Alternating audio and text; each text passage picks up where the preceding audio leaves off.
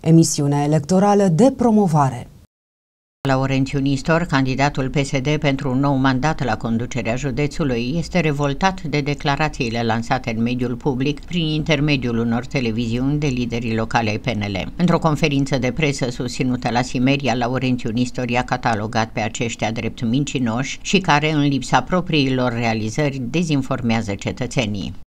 Fiindcă nu sunt altceva decât niște mincinoși. Și vă spun de ce. Spune că ne luăm de primarul Devei. Nu m-am luat niciodată. Eu fac politică fără să mă iau de cineva. Fac politică și spun cetățenilor care doresc să mă voteze, uite că eu sunt mai bun decât X. Și faptele mele sunt mai bune decât al ăsta. Asta e politica mea. Îmi spun că nu am atras, nu fac nimic pentru județul ăsta. Până astăzi, la data la care vă vorbesc, am atras și am semnat cu mâna mea peste un miliard de euro fonduri europene. Pe programul de tranziție justă din cele șase județe din România care facem parte din programul de tranziție justă, județul Hunedoara, am obținut 527,5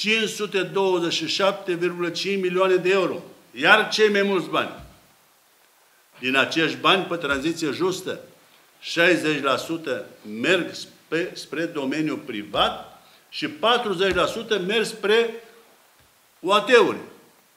Am ținut cont și de UAT-uri să-și facă. De aici încolo nu mai este treaba lui Nistor. Treaba mea și a colegilor mei care ne-am zbătut a fost să aducem acești bani în județul Nedoara și de aici am avut patru întâlniri cu mediul de afaceri. Le-am spus că le stăm la dispoziție cum să facă proiecte, să câștige. Am avut întâlniri nenumărate cu primare. Îi învăț. Nu eu. Nu sunt eu profesorul lor. Echipa pe care o coordonez, putem să discutăm cu orice județ. Ne bârfesc în continuu că nu facem nimic. Și vin și spun că să ne uităm la județul Bihor cu Hunedoara. Cum se dezvoltă Bihorul cu Hunedoara?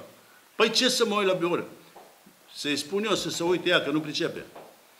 Județul Bihor are de 5 ori în plus județul, ă, bugetul județului Hunedoara.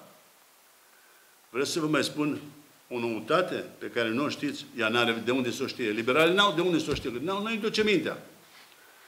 În județul Hunedoara, la noi în județ, Prima localitate care are bugetul cel mai mare este Deva, a doua, Hunedoara, și doar pe locul 3 este județul Hunedoara. Și județul trebuie să rezolve toate problemele județului pentru drumuri, pentru protecția copilului, pentru persoanele cu handicap, pentru toate astea. Dar Dumnezeu mi-a ajutat să am 18 consilieri din 33 și ne jucăm. Facem investiții, de tot ce vrem să facem în județul ăsta, nu există ceva. Dar nu fac anapoda. Fac pentru ce este necesar pentru județ.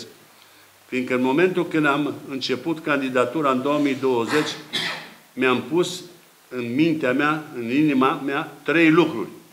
Pe primul loc, sănătatea, pe locul doi, învățământul și pe locul trei, infrastructura. Ce poți să te gândești mai frumos decât la aceste trei lucruri?